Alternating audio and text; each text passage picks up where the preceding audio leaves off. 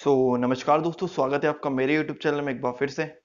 तो आज मैं आपको बताने वाला हूँ जो आईटीआई के थ्रू एडमिशन होते हैं अनेक प्रकार की जो ट्रेड्स होती है आईटीआई में उसके बारे में आपको जानकारी देने वाला हूँ। सबसे जो मोस्ट इंपॉर्टेंट होती है मेरे चैनल से जो रिलेटेड को रिलेट करती है वो है स्टेनो से रिलेटेड आईटीआई तो उसके एडमिशन कैसे हो रहे हैं और क्या कब स्टार्ट होने वाला है वो आज मैं आपको इस वीडियो में सारी जानकारी देने वाला हूँ। यदि आपको स्टेनो करने की इच्छा है तो आप स्टेनो करने का जो एडमिशन है वो करवा सकते हैं।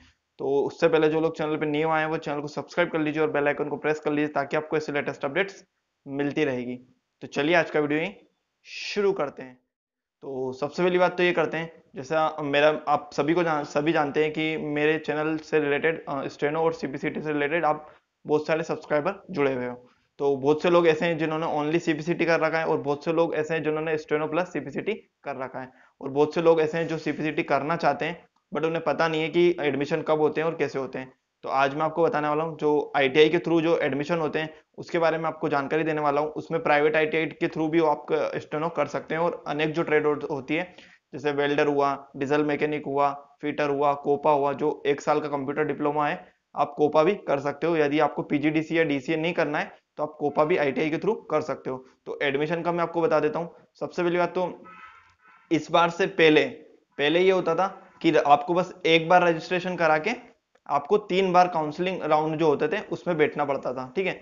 इस बार से नियम चेंज हो गया है। आपको यदि आज भी यदि आज आपको स्टेनो करना है तो आप आज तुरंत रजिस्ट्रेशन करा के आप वो ले एडमिशन ले सकते हो।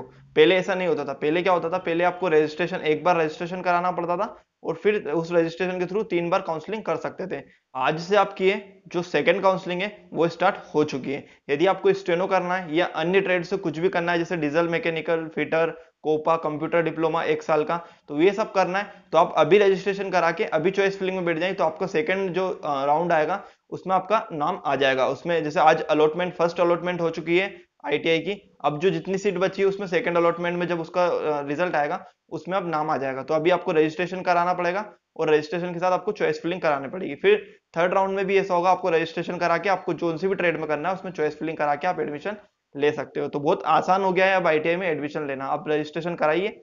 चॉइस फिलिंग में बैठिए तीनों राउंड में आप कभी भी आपका एडमिशन हो सकता है ठीक है? तो ये आप आपको स्टेनो करना है। तो स्टेनो के लिए भी सेम प्रोसेस है आपको रजिस्ट्रेशन कराना है और जस्ट चॉइस फिलिंग में बैठना है। जब सेकंड अलॉटमेंट का रिज़ल्ट आएगा तो उसके अंदर आपका स्टेनो के लिए नाम आ जाएगा। यदि सेकंड में नहीं आता है तो आप जस्ट थर्ड में ट्राई करिए आपका थर्ड में नाम आ जाएगा। तो ये सारी सेम प्रोसेस है। आई होप आपको जानकारी समझ में आई होगी। जानकारी समझ में आई तो वीडियो को लाइक और चैनल को सब्सक्राइब कर लीजिए और अपने दोस्तों में ज़्यादा से ज़्यादा शेयर कर दीजिए। तो चलिए नए वीडियो मिलते हैं नए टॉपिक के साथ। तब तक के लिए Jai Hind.